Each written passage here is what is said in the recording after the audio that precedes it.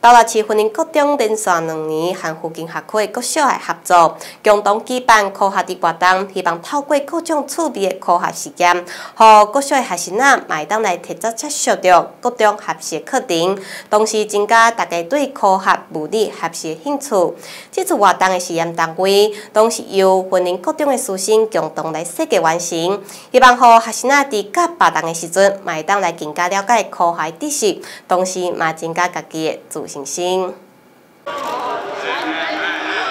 云林国中学生操作着各种的趣味科学实验，同时邀小朋友来动手体验。透过这好耍的实验过程，大家对了对科学更加产生兴趣，同时来实习这科学背后的原理。瓶中造园比较好玩，因为它就是就打开，然后就会蹦。然后一开始我是先吓到，然后发现说里面有白白的东西，然后就在飘，然后感觉像云。呃，做这些。生活上的一些实验，那其实也让小朋友能在呃了解日常生活中的一些科学原理。即排所谓实验单位也拢是由训练国中师生来做设计，虽然这侪人拢是第一摆来担任老师教导各小活动，难免会来感觉紧张，但是看到大家对科学产生兴趣的表情，这让人感觉是真有成就感。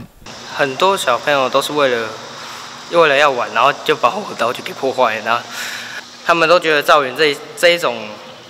呃，科学活动，他们觉得都觉得很有趣。为小朋友做一些科学性的小游戏，我觉得小朋友都很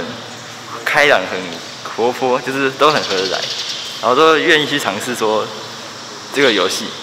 到了市云林国中连续两档和附近学区的各小合作，举办着科学日活动，透过由各中心来自由设计科学实验，教导各小同学，双方也来得到真好的学习机会。而目前这科学日活动也受到越来越多学校的肯定。今年当这参加的各小也为三间增加到五间。利用每年在学生会考之后，我们带领学生也到他们原来的母校去进行所谓的服务学习，然后跟这些学弟妹进行进进进去的所谓科学的活动探究。那么我们这个礼拜呢，已经跑了五所国小，那这样的活动呢，已经慢慢得到很多我们的学习国小的回响。去年只有三所学校，今年就有五所学校。透过区别科学实验，除了有各小活动，会当自细汉就来实习科学，并对伊来产生兴趣，同时要来担任老师的各中心有无共款的学习体验，记者讲义长报道。